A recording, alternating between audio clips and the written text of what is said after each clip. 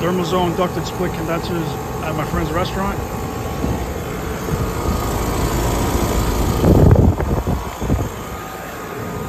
It's frozen up. 2014 uh, 5 ton. Coils are plugged.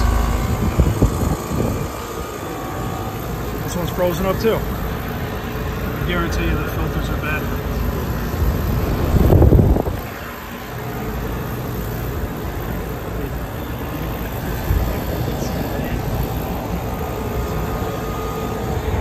Here's the exhaust fan for the kitchen.